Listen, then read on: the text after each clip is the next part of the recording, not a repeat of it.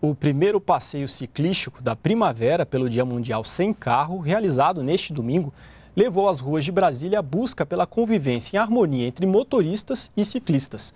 A ação faz parte, foi parte da campanha Parada um Pacto pela Vida, coordenada pelo Ministério das Cidades, com o objetivo de reduzir o número de mortes no trânsito no país. Não era uma competição, era um passeio em família. Filhos, pai, mãe, tio, avós. Um programa sem restrição de idade. O empresário André trouxe o filho Miguel, de três anos, para participar. A gente tem que estar tá incentivando as pessoas para estar tá utilizando as ciclovias, estarem praticando o esporte em si, né? Fazer exercício, estar tá com a família, estar com os amigos, é a melhor coisa que tem.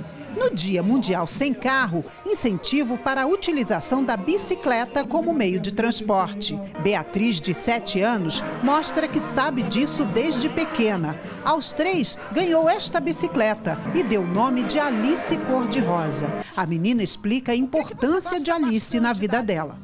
Porque ela me ajuda muito a passear. E além dos carros, a bicicleta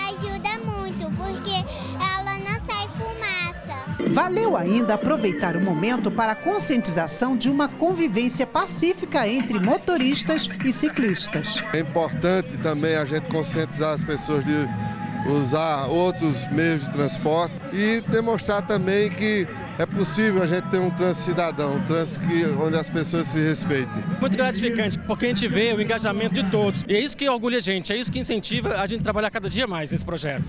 A largada foi numa das principais avenidas de Brasília.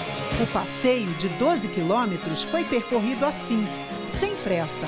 Afinal, não é todo dia que se pode apreciar as belezas de uma cidade num caminho sem carros.